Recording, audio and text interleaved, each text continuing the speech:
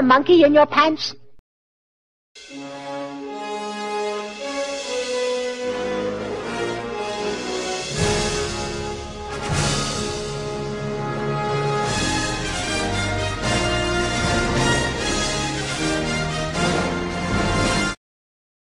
Hi guys, this is the first in the series of Back to the Past. It's basically um, a new part of the, of the, channel where we look at, depending on what date it is, um, we look back in the past or back and we go back to the past if you like and see what relevant computer games were released on that day and basically have a quick overview of them. The first game I chose is actually probably, the, I think possibly one of the earliest Spectrum games I ever saw or ever played. Um, it's Cauldron um, released in 1985 on April the 2nd. It was released by a British developer called Palace Software. Basically, the idea behind the game is a two-dimensional shoot 'em up platformer game, if you like. Um, as you can see on the screen there, you've got your hags, which is your lives. You've got your magic that goes down each time you get hit. Um, you can also shoot with a spell dust, if you like, out the front of your broom to defeat the enemies. But each time you fire that, your magic goes down as well, so it takes away your energy. The idea of the game is um, you're after a golden broom, and to get this golden broom, you have to go into each different cave or cavern and collect one of six ingredients. Once you collected the six ingredients, you can get the golden broom and defeat the pumpkin. Did you get that? Pump King? But um, so you basically go into one of these rooms, grab the ingredient, fly back to your little hovel house, put the ingredient in the pot, and then go out the search for another ingredient.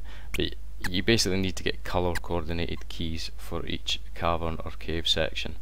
Um, and sometimes they're a bit tricky to find, obviously they're, they're hidden down below etc but you can you're flying along there as you can see in the screen flying along um, dodging enemies, dodging birds, etc.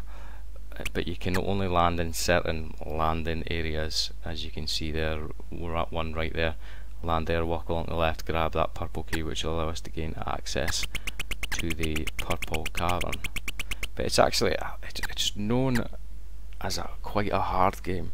Um, I remember playing it when I was a child, and I was like, Jesus Christ, this game's a bit hard. But um, they did release a, a follow-up to the game which was, was quite different but it was a lot easier but um, once you, once you get into these cavern sections, once you get a key and get into a cavern, it basically the game then changes slightly. You're no longer flying about. It's it's more of a platform game, but again, it's brick hard as you can see here. Um, just trying to navigate these platforms, etc. is a bit of a nightmare, to say the least. So quite a, a, a basic Spectrum game if you like. Um, obviously 48k, very little sound, etc. No music to it, but um, it's it's one of the earlier games. You know, you've got quite a bit of colour clash, but at the same time, it's quite a fun game. Certainly worth checking out, especially if you've um, if you're into your Spectrum gaming, hardcore, and, and you've never played this game. I'd say play it at least so you've played it. Um, it seems to be reasonably hard to pick up nowadays. Currently on eBay there's maybe three copies, not not expensive as such, you're looking at about three ninety nine plus postage, something like that. That's uh, Great British pounds, obviously. But yeah, it's it's a good game, and check it out, guys. But uh, this is the first in the series of Back to the Past. Thanks for watching.